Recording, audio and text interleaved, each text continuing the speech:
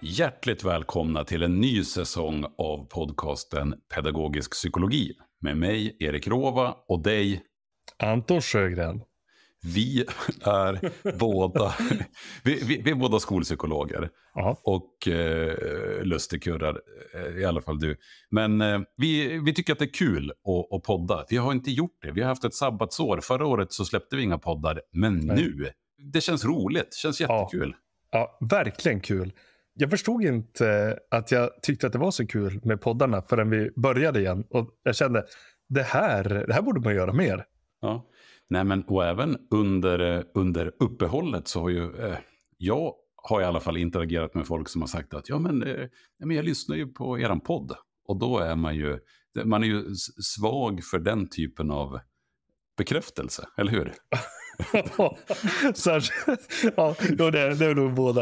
Eh, jo, men och jag, jag eh, måste säga att jag, eh, jag har ju alltid varit lite mer skeptisk till att man skulle nå ut med en sån här podd. Jag tänkte att det kanske är mamma som eh, kommer att lyssna. Men, men det, är, det är ganska många som verkar uppskatta de här poddarna. Så det är superkul. Ja, ja, ja. Eh, nog metapoddsnackat om poddar. Är det någonting jag eh, har svårt för så är det just det.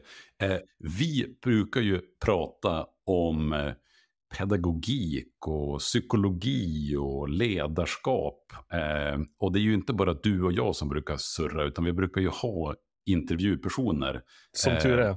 Som tur är. För vi, vi startade ju den här podden eh, för fem år sedan, gissar jag. Mm. Eh, eftersom att vi anordnar en utbildningsdag eh, som heter pedagogiskt ledarskap, som är riktad till all skolpersonal.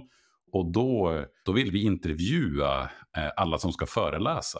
Och det ska vi göra även i år. Vi ligger i och jobbar för årets upplaga av pedagogiskt ledarskap som äger rum 31 oktober. Det stämmer utmärkt. 31 oktober under höstlovet. Då kör vi. Ja, och då, eh, vilka kommer man att få lyssna på då om man deltar? Om man deltar kommer man, förutom, vi kommer väl före och eftersnacka lite då också, men, men, förutom eh, du och jag så kommer vi att få höra Per Kornhall, Åse Fagerlund, Diana Storvik, det specialpedagogiska teamet i Södertälje och Maria Wiman. Och man är hjärtligt välkommen att komma till Umeå, Folkets hus, där vi håller till. Mm. Men eh, om man känner att jag vill inte resa till Umeå, då kan man vara med digitalt. Vi har ju en superbra lösning för det. Och massor av mer information och anmälningsmöjlighet och pris och så vidare, det hittar man på pedagogiskledarskap.se. Men eh, nog eh, snicksnackat. Nu lyssnar vi på Anton och Per. Varsågod.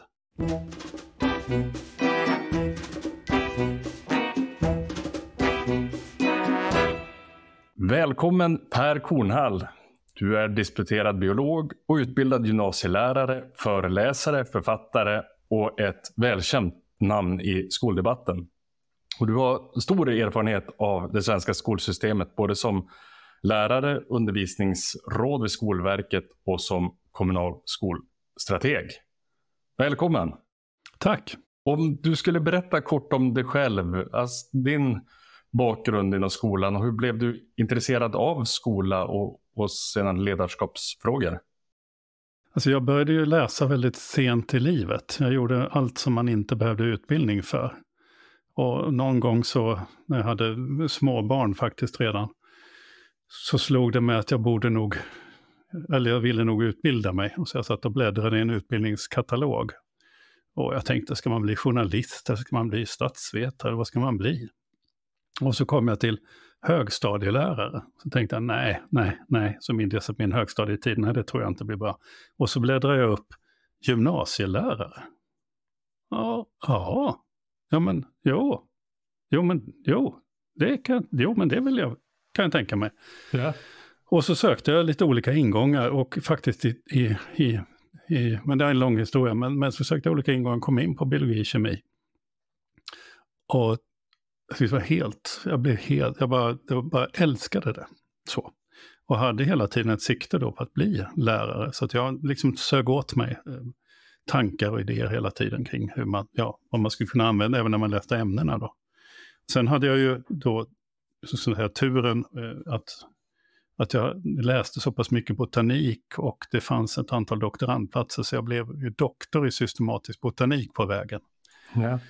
Eh, och det var väldigt, väldigt roliga år med, med, då, med undervisning och forskning och så, men jag hade hela tiden siktet inställt på att komma ut i skolan. Jag hade inte någon forskarkarriär i, i bakhuvudet, utan jag, jag gjorde det här för att jag tyckte det, jag gjorde liksom disputerade för att jag tyckte det var roligt personligt. Och sen gick jag då ut och jobbade i skolan, eh, på gymnasieskolan.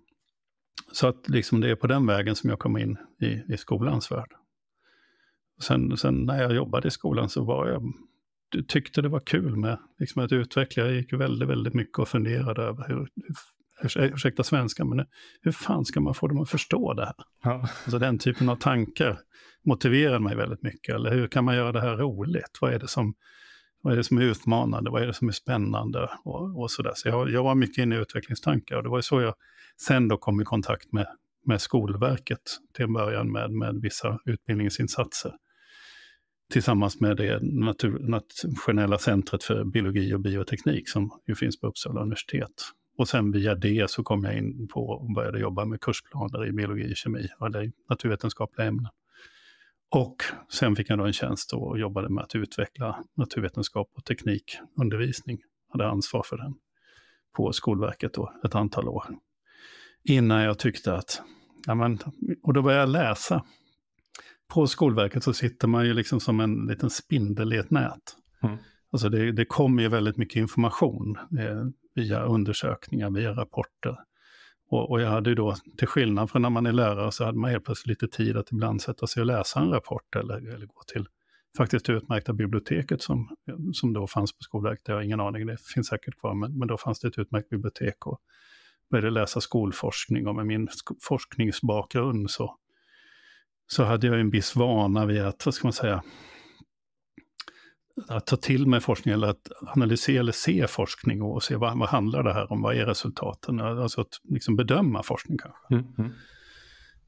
Och då när jag hade gjort det ett tag så, så upptäckte jag att det fanns en himla massa forskning och, och att, väldigt intressant forskning och som jag tyckte att nej, men det här vet vi så väldigt lite om i Sverige. Alltså det här är inte kunskap som är spridd. Och, jag jobbade en del med det på Skolverket och så kände jag att det här finns ju en signal.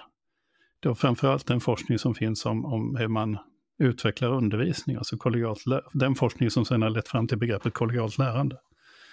Den kände jag att ja, men den här är ju, det här är ju viktigt, det här är ju, det här, och det här skulle jag ju vilja prova. Ja.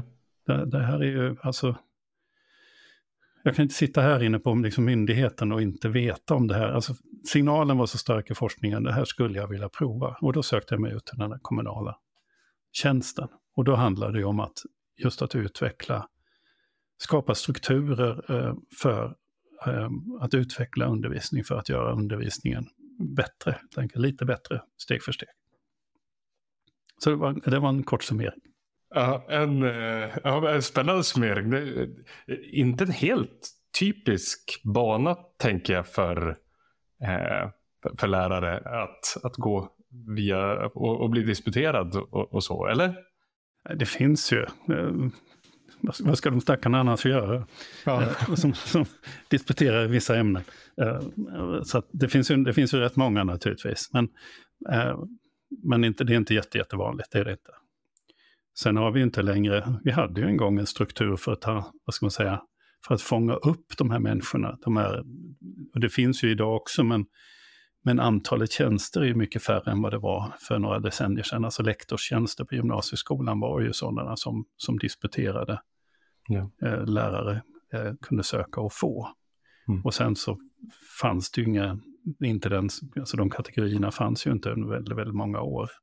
Och, det var, och antalet sådana här eh, lektorat minskade ju i Sverige eh, med, ja, väldigt, väldigt, det, det var också gick från 2000 till typ 100 eller något sånt där på några, mm. från avregleringarna i, i början, i slutet av 80-talet, början på 90-talet och fram till 2012. Och när första lärartjänsterna och, och det här kommer så är det en liten, liten eh, ändring på det. Men det är nog inte jättevanligt. Nej.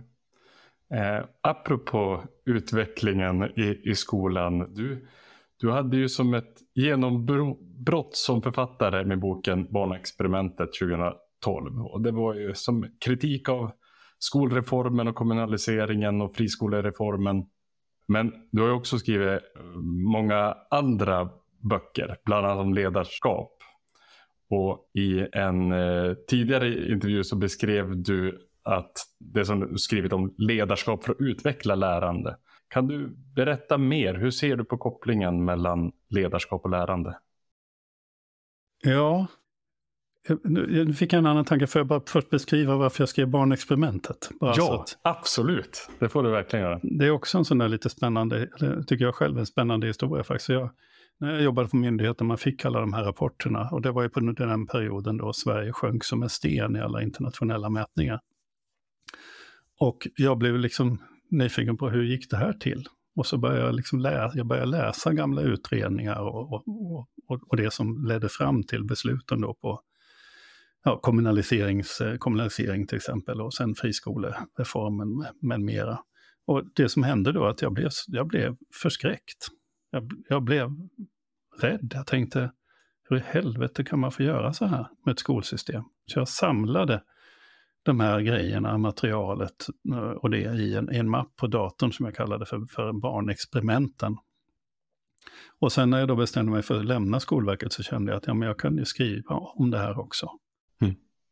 Och det jag, gör, det jag gjorde då var ju att liksom lyfta på locket till exempel, titta på, på utredningen för, det finns ju inget utredningsunderlag för friskolereformen överhuvudtaget. Det finns inget remissförfarande. Man, man, man struntade i grundlagen. Eh, som ju krävs, alltså regeringsformen kräver ju att man remitterar, att man, att man eh, förankrar beslut och så. Man sket fullständigt i alltihopa det. Så den största förändringen av svenska skolsystemet skedde helt utan utredning. Mm. Och sånt där gjorde mig ju skiträdd. Jag, vet, så jag delade in den här boken, ett av kapitlen, eller en av delarna heter Vanmakt. För det var vad jag upplevde, så att säga. Så. Eh, så jag behöll de här känslomässiga eh, bitarna i, i, liksom i boken, i titlarna där på delarna. Och, och det här, det, det som nästan skrämde mig ännu mer, sen, sen blev den ju ganska, som du sa, den blev ganska mycket spridd. Det är en av mina, mina böcker som har kommit ut i pocketupplaga.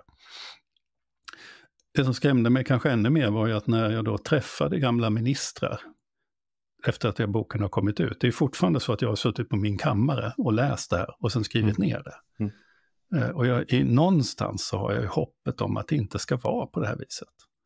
Och så träffar jag gamla ministrar som tar mig i hand och säger tack för att du skrev den här boken, det var precis så det var. Ja. Och då blev jag eh, liksom lite rädd på allvar kan jag säga.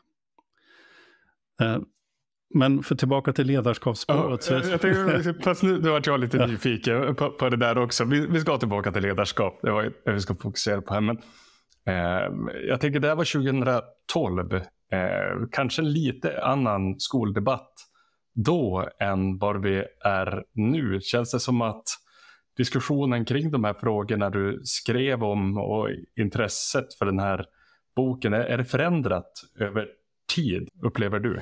Eh, ja, det är det. Redan då var det ju så att lärarfacken eller lärare man träffade kände ju igen sig. Det fanns ju väldigt mm. mycket bekräftelse från lärare och rektorer. När jag, när jag föreläste utifrån boken och sånt så, så kom ju framförallt då äldre lärare som hade varit med om kommunaliseringen.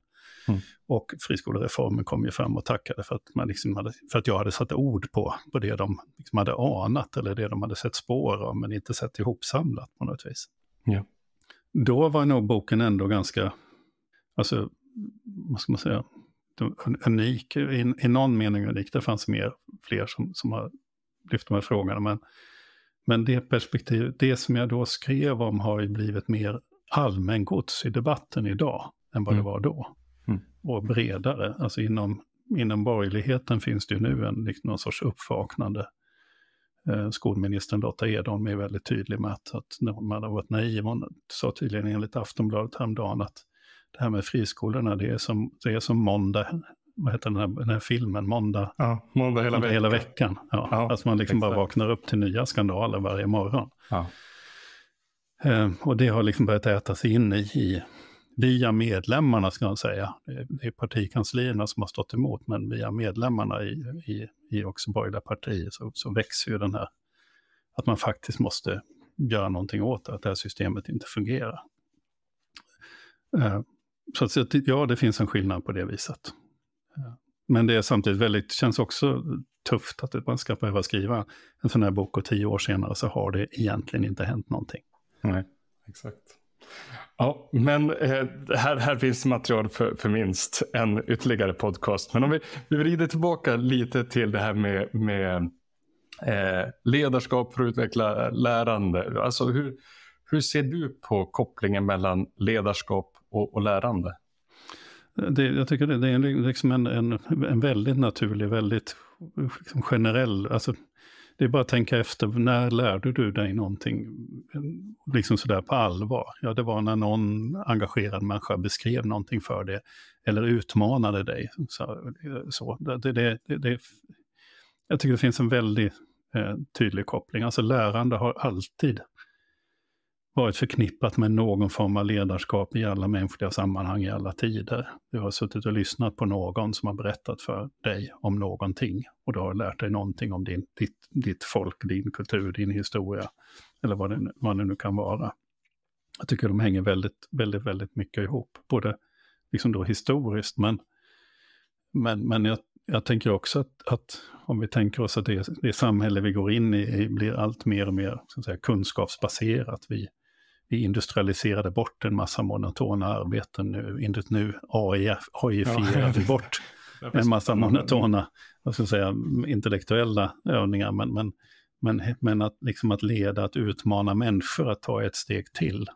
Eh, alltså det blir bara viktigare och viktigare för oss att vara lärande. Alltså för en ledare idag är det ännu mer viktigt att vara en som leder andra människors lärande, som ser till att andra människor lär sig nya saker och kan ta, göra nya saker. För vi har hela tiden behov av det. Mm. Ja, men, eh, spännande och du har ju som en lite unik eh, ingång här som, so, som biolog och jag tänker vi ska prata lite om din eh, fokusera på en av dina senaste böcker som heter Naturligt ledarskap, vad evolutionen kan lära om ledarskap i skolan.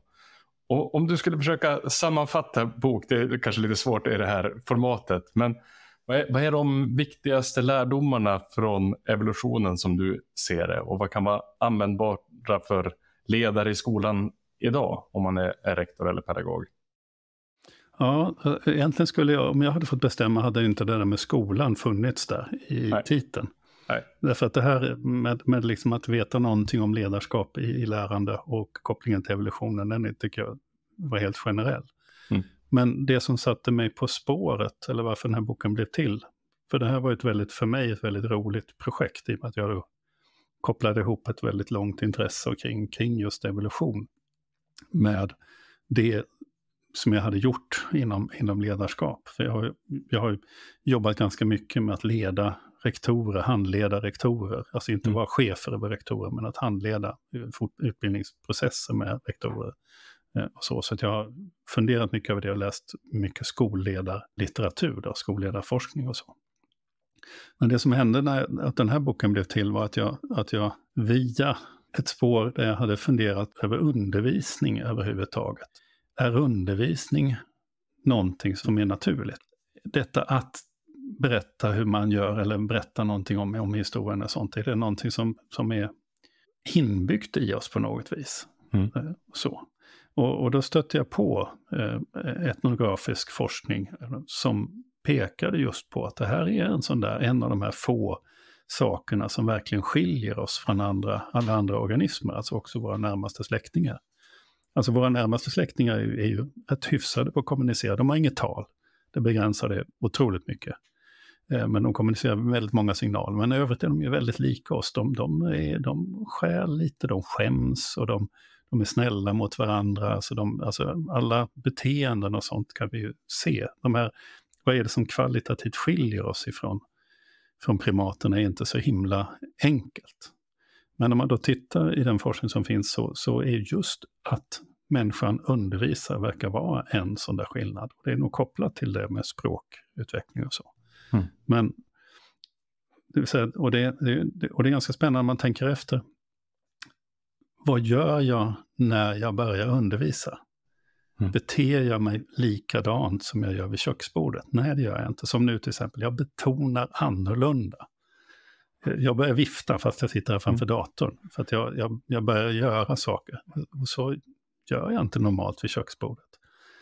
Eh, mina barn skulle inte känna igen mig i en undervisningssituation, tror jag. Eh, och, och, och, och så. Så det finns alltså ett annat sätt det är väldigt viktigt var man fäster ögonen i en undervisningssituation till exempel. Och vi har speciella ögon med ögonvitor. Så vi ser, det är väldigt viktigt för oss om någon tittar på oss och säger någonting, för då är det till mig. Mm. Schimpanser, du har, du har ingen aning. De är helt mörka i ögonen. För dem har det ingen betydelse. De skickar ut sina signaler lite huller och buller i, i flocken. Och vill de någonting så, så riktar de sig på, nästan fysiskt. Men, men vi är, blicken och talet är så himla viktigt. Så att, och så då börjar jag också fundera på, är det också därför det är så, så roligt att undervisa? Alltså är det ett lustpåslag? Är det en inbyggd som gör, alltså är det någonting som har förbättrat våra överlevnadschanser, att jag faktiskt upplever lust? Att jag blir belönad, att jag blir lite lyckligare när jag får undervisa. Vilket är en drivkraft att undervisa. Mm. Och, och, det där tror jag, jag tror att det är så.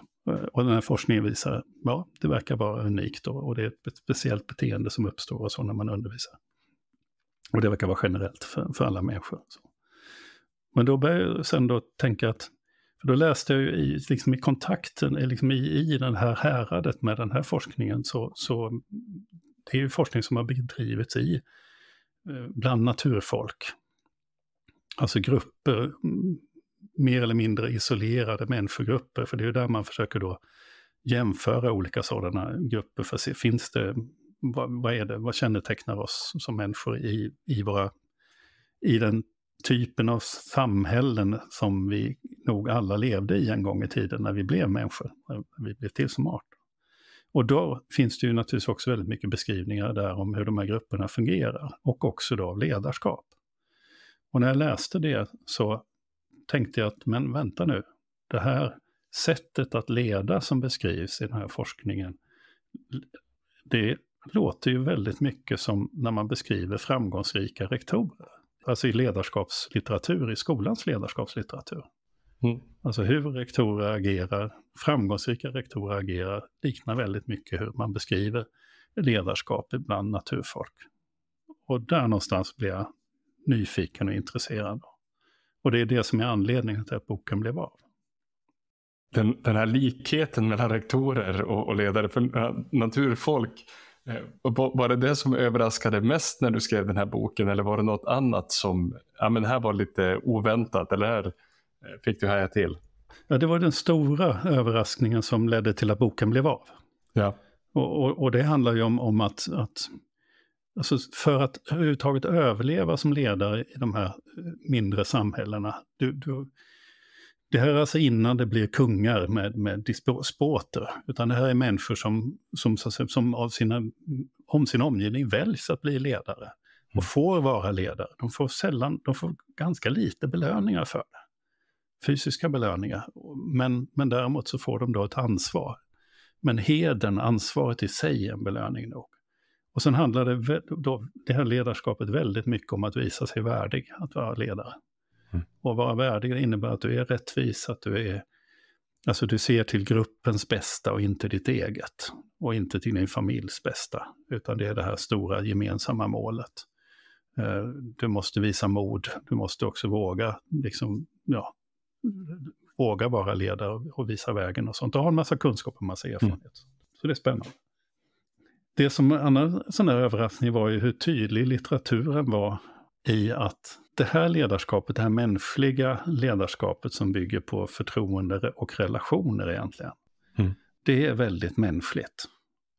Men ett annat ledarskap, det som vi ofta skulle vilja definiera som dåligt ledarskap, vilket inte alltid är dåligt, det, det också kan komma till det sen, men det som vi ofta definierar som dåligt ledarskap är ju, är ju despoten, är ju diktatorn Mm. Den som använder sin fysiska makt, som sätter skräck i sin omgivning och som, som bygger sin makt på hot och på rädsla.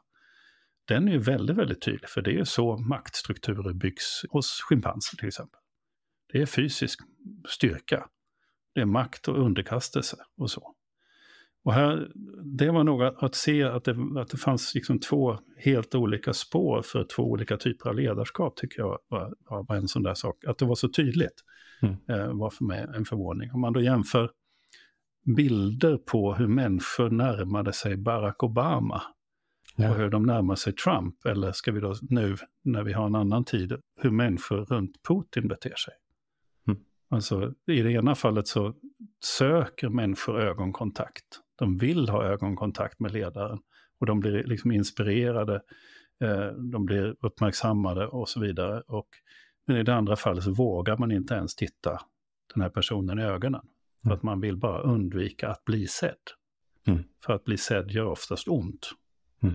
eh, i det ledarskapet. Så att, att den tydligheten att de här spåren fanns där och att det finns evolutionära rötter i det här tycker jag är otroligt spännande. Du eh, sa att vi, vi, kan komma tillbaka varför det ledarskapet inte alltid är, är dåligt. Eh, vad ja, var men, du tänkte på då? Ja, men då är det ju intressant att det finns situationer när det mer eller mindre diktatoriska ledarskapet är avgörande för gruppens överlevnad. Till exempel i en krigssituation. I en krigssituation så måste gruppen uppträda som en och lyda order och, och, inte reflektera så mycket. Och tittar man då på naturfolk så är det också så att i fredstid så har de äldre ledare. Då det, har det ingenting med fysik att göra. Men är det så att det börjar bli, bli konflikter med en annan stam, ja då väljer man en ung man. Mm. Alltså det är också, då finns det helt plötsligt en könsdimension. Det kan mycket väl vara en kvinna som leder, men när det blir krig så är det då ofta en yngre man. Det är då, då helt plötsligt träder hela det fysiska in. Och det tror jag slår om lite grann i huvudet. Eh, och det tror jag är en av anledningarna till att om vi tar olika former av sekter, om vi tittar på sekter, hur de är uppbyggda, så, så bygger de ofta upp en, en konfliktsituation med omvärlden. Och i den konfliktsituationen så är vi beredda att underkasta oss på ett annat sätt än vad vi gör annars. Och det här är ju inte dåligt för gruppen. Om du förstår vad jag menar. Mm. Det här kan ju vara viktigt. Vi har nu ett så viktigt uppdrag så att vi bara ställer in oss på att göra det vi ska. Det här kan ju också då gälla att vi ska, istället för att um, jaga harar eller, eller plocka blåbär, så ska vi döda en mammut. Då är det också viktigt att vi gör precis det som är, liksom är tänkt. Att någon har tänkt ut att en ställer sig där och du ställer dig där och du ställer dig där. Och sen så så tjoar vi, kimmar vi och så har vi, driver vi mammuten in i den här fällan och, och så. Men det bygger då på att alla verkligen liksom lyder order, när man får den här... Eh, så det är inte alltid dåligt med den typen av ledarskap, utan om det är dåligt eller bra beror ju på varför man gör det och vad som faktiskt, ja, varför, vad skälet är. Och hur den ledaren sen använder den här makten. Men hur undviker man då? Det, det här kan vara det, det, mer auktoritära ledarskapet kan vara rätt vid, vid rätt tillfälle och vid, vid rätt sorts uppgift och, och, fel vid andra tillfällen. Sådär. Hur, hur undviker man att hamna i ett skadligt eller destruktivt ledarskap? Vad har du för tankar kring, kring det? Jag tror att det, en av de viktigaste sakerna är, är att vi ska inte leva i krig i organisationer. Det, det mesta är normalt liv. Eh, men vi har ett stort gemensamt mål och därför har vi valt att ha en ledare Eh, någon behöver avlasta oss andra. Vi har ju våra, jag ska ju gå och liksom undervisa, någon annan behöver tänka på över hur strukturen ska vara. Alltså vi, vi har ju nytta av som grupp av att någon strukturerar, att vi har en organisation och så vidare. Mm.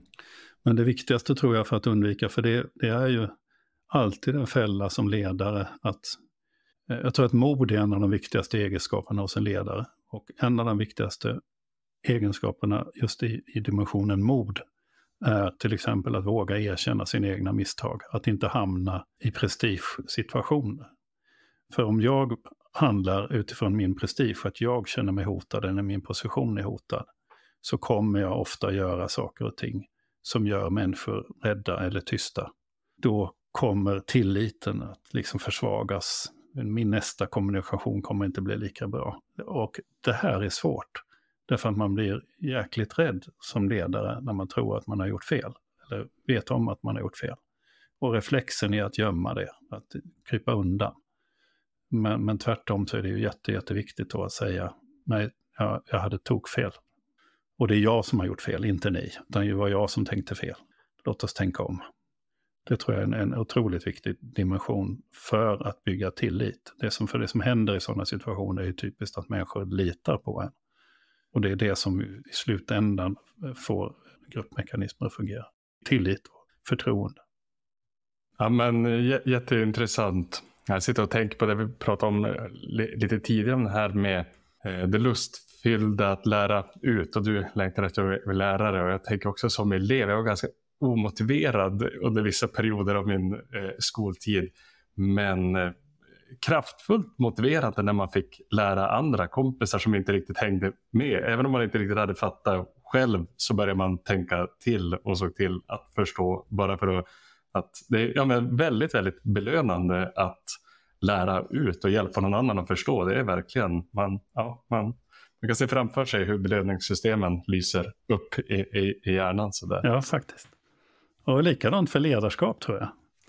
Att det finns ett belöningssystem för, för ledare. Det är därför också, att, och det är väldigt intressant med den här forskningen som kopplar ihop lön med, med, med eh, resultat.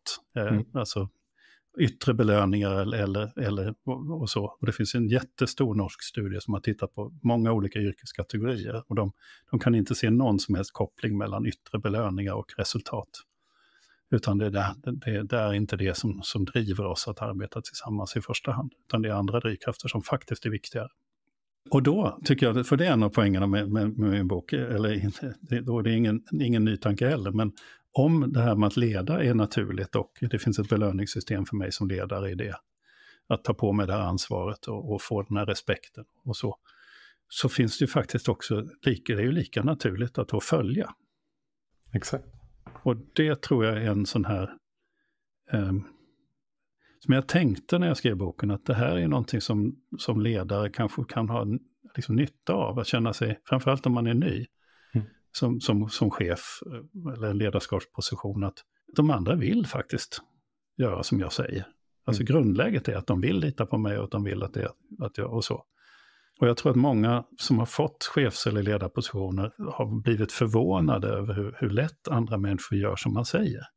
Och, och, lite oroade över det eftersom man inte tycker att man är så himla duktig. Uh, ja. Men, men det, för det, är det naturligt att leda så är det också naturligt att följa. Uh, mm. Och sen kommer vi att vilja följa den som vinner vårt förtroende och som vi har respekt för och så. Men, men grundläget är ju ändå, därför att det är så väldigt, väldigt bra för oss som grupp att vi har ett organiserat system. Vi, vi, blir så mycket effektivare som grupp. Så det är naturligt att följa, det är naturligt att leda. Och vi kommer ju byta mellan de här rollerna. Jag är ledare i ett sammanhang och följer i ett annat sammanhang och, och finns hela tiden en dynamik och ett utbyte. Ja, men, och just det där utbytet, som sagt, vi skulle kunna prata om, om det här, om allting länge, men jag tror många föreställer sig att man på något sätt som ledare ska utöva nog mycket makt eller inflytande eller någonting. Nog mycket för att andra ska följa snarare än att just se här att ja, men det är faktiskt dubbelriktat. Det finns en, en önskan att följa någon man har förtroende för mm. eller som man som känns begriplig att följa i, i den situationen. Det är inte bara att, att ledaren måste vinna någon slags påverkansgrej utan det, det är verkligen ett, ett, ett dubbelriktat samarbete och det där är ju ja, väldigt spännande. Mm. Ja. Vilket också då syns i skolledarforskning därför att det vi ser också är, är ju att, att eh, de skolor som utvecklas väl under tid, de har en väldigt lång kontinuitet i ledare, alltså de har kontinuitet mm. i ledarskap. Alltså, vilket är en signal på att just den här relationella dimensionen är så viktig. Mm. När du har varit länge på en skola och, och lärarna, om du är rektor, och lärarna börjar lita på dig, ja då kan, då kan ni göra så mycket mer. Mm. Däremot den här rektorn som kommer in liksom och pekar med hela handen och så, eh, och tänker sig förändring på kort tid. Det är inte så det fungerar. Eh, nej, det, det, där var ju en, ett svar som osökt får mig över till nästa fråga jag tänkte ställa. För du, du har ju varit en aktiv och kritisk röst i skoldebatten under många års tid nu. Vilka är de största utmaningarna du ser för, för skolledare idag? Och jag som visste att jag var på väg att ställa den där frågan tänker ju det här med kontinuitet är, är väl kanske en del av det. Att det är inte alltid man har, är ledare så länge som man hinner utöva den här. Ja. Men eh, vad, vad, säger du Per? Alltså, då skulle jag vilja börja med något, något positivt. Ja. Att jag tycker att den, den utveckling vi har haft kring, kring till exempel kollegialt lärande, alltså om hur man utvecklar undervisning och hur man eh, den litteratur som finns om att ha fokus på undervisning i skolans ledarskap och, och, och så är en fantastisk utveckling där vi, där vi ju nu tack vare till exempel den statliga matematiklyftet och läslyftet och allt det och, och det ringar i vattnet som finns ute över landet har väldigt mycket kunskap om hur man utvecklar undervisning som, som är rätt ovanlig om man då tittar ut i Europa. Alltså det finns en djupare förståelse för hur man utvecklar undervisning. Vi har mer kunskaper om det, mer erfarenheter av det, som är väldigt, väldigt positivt. Men det som är problematiskt i det svenska systemet och som är stora utmaningar, det är ju, det är ju de här yttre omständigheterna. Mm. Alltså eh, att driva en verksamhet som finansieras per, per styck, per elev, och du ska försöka ha ett långsiktigt perspektiv på barns eh, och ungas lärande. Är, alltså det river och sliter i planeringen, att, här att hela tiden behöva tänka på att jag måste få in tillräckligt många elever, för annars så kan jag inte betala lönerna för min personal. Mm. Det är ju inte en situation som man ska behöva vara i. Och vi har ju som en effekt av hur systemet fungerar och på de krav som ställs på rektorer i svenska skolor, så har vi ju en kolossal cirkulation. Alltså vi vet att det är viktigt att man stannar kvar. Men vi vet samtidigt att det är väldigt få rektorer som gör det. Ja. Och i då ett system där, där det läggs ett stort tungt ansvar uppifrån på elevresultat eller vad det nu kan vara. Och samtidigt som det här sker i ett helt ett flytande budgetarbete. Och rektorerna eh, typiskt sett har ansvar för, för allt. Liksom. Mm. Det, är, det är ett av Sveriges svåraste chefsjobb. Människor utanför skolan förstår inte hur, hur komplex och svår skolledarskapet är jämfört med chefskap på, på ett företag eller en myndighet. För där har du typiskt sett bara liksom ett par stycken uppdrag. Är du chef på en myndighet, då har du aldrig mer än 15 anställda under dig. Och du har bara att leda dem som arbetsuppgift i princip. Eh, men skolan så har du 40, 50, 100 under dig. Eh, du har ansvaret direkt för eleverna, du har ansvar för kontakt med samhället utanför med föräldrarna, du har lokalansvar, du har ansvaret för städningen, för skolmaten, för skolskjutsarna, eh, för arbetsmiljön och så vidare och så vidare. Och i det här så finns ju några, som jag upplever, några av de bästa chefer jag någonsin har träffat hela mitt liv. De som klarar av den här situationen. Men vi borde ju sänka tröskeln för att lyckas som rektor. Och här behöver ju Sverige tänka till.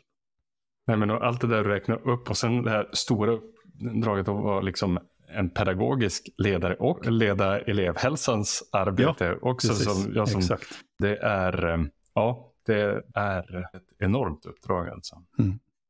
Det här också med pedagogiskt ledarskap är en väldigt, väldigt, mm, tycker jag, knepig formulering. Som, som lägger ett ansvar på rektor som kanske inte ska ligga på rektor. Alltså, att leda det pedagogiska bör vara den pedagogiska professionens uppdrag. Mm. Medan du som ledare, vad ska du göra? Jag på något vis inspirera, eh, vad ska man säga, vara nyfiken, kunna hjälpa det, det här det pedagogiska arbetet framåt. Så genom att vara en katalysator fråga varför, varför gör vi på det här viset? Mm. Hur kan vi göra istället? Hur, hur ser det, vad har vi för problem och hur, hur, kan vi lösa det? Ställa, ställa nyfikna frågor är ju är liksom centralt i ett sånt ledarskap. Absolut. Och eh, eh som sagt, det, varje svar föder lite nya frågor. Men vi, vi börjar närma oss slutet på, på intervjun. Och du ska ju föreläsa på skolkonferensen Pedagogiskt ledarskap den 31 oktober. Som man kan delta antingen digitalt eller på plats här i Umeå som, som är, det är väldigt varmt idag när vi spelar in den här inspelningen. Men det kommer nog vara lite svalare och, och behagligare där i, i slutet av oktober. Skulle du kunna berätta kort om din föreläsning Per och vad du hoppas att deltagarna får med sig när man lyssnar på den? Jag kommer ju berätta om de här kopplingarna som jag tycker mig se mellan skolledarskap och, och, och säga, vår evolutionära och, och antropologiska historia, och vad vi kan lära oss av den. Och jag hoppas man kan få med sig både en del aha-upplevelser, lite större trygghet, men också att jag kan utmana en del eh, tankar man har Sen en sån här kort föreläsning är ju, det blir ju alltid någon sorts tomtebloss som lyser till och sådär. Ja. Men då hoppas jag att, jag att jag ska väcka tankar som leder till mera läsning. Eller som när man sen kommer hem så, så grundar man till, tänker men vänta nu, det, det, kanske är, det kanske är på det här viset. Och att det på något vis är en hjälp. Att förstå vad det är för drivkrafter som sliter och drar i oss. För att det här med naturligt ledarskap betyder inte, det betyder inte naturligt bra. Det betyder Nej. inte moraliskt riktigt. Det betyder bara att vi måste förhålla oss till de här naturliga krafterna. En del av dem är bra och en del av dem kan vi använda i, i olika mm. sammanhang. Men vi måste också vara, veta att en del av dem är, är då, är, kan ju vara väldigt vara destruktiva. Mm. Toppen, jag älskar tomtebloss så jag, jag ser fram emot eh, det och det låter jättespännande. Stort tack för ett trevligt samtal. Tack själv.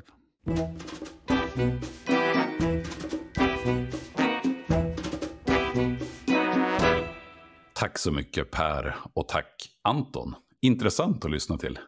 Ja, det är ju eh, det är lite lurigt när man pratar med Per för det är så mycket man vill eh, prata om. Så man får, eh, jag fick bromsa mig som du hörde om och om igen. Det fanns många spår jag ville prata mer om. Men gud vad jag ser fram emot att höra hans föreläsning den 31. Det, det, det är jag också. Det är alltid kul att ta del av Pers tankar, eh, läsa böcker och lyssna på poddar. För han har, han har mycket att, att säga om skolan, precis som du är inne på. Eh, men, men den här föreläsningen, det kommer att bli, det kommer att bli toppen. Ja. Ehm, eh, jag, jag, vill passa på och pusha för eh, Boka tidigt-rabatten. Mm. Eh, om man går in på pedagogiskledarskap.se och anmäler sig före eh, den 8 september, det går nog bra att göra 8 september också, eh, men då får man, då får man 25 eh, eh, rabatt på alla biljettpriser och det tycker jag man ska utnyttja. Verkligen. Men hur är det? Eh, det är 25 procent. Sen finns det någon annan rabatt när man bokar många biljetter digitalt. Kan man kombinera de här? Tacka för det. Det kan man göra. Det finns en mängdrabatt på digitala biljetter. Och det går jättebra att kombinera. Då kan man få rabatt på rabatt. Otroligt. Om man är många som är med digitalt och anmäler sig innan åttonde, då blir det rabatt på rabatt. Eh, ska man vara med på plats eller bara en, då får man ju rabatt, 25 procent. Men det är inte fyskam. Nej, verkligen inte. Eh, pedagogiskledarskap.se. Nästa vecka, då är vi tillbaka med ett nytt avsnitt och en ny eh, intervju. Då ska jag prata med Åsa Fagerlund. Och det, det, det vill ni inte missa. För det, det är intressant. Det ser jag fram emot. Mm. Eh, ha det jättebra. Eh, vi ses om en vecka. Adjöken.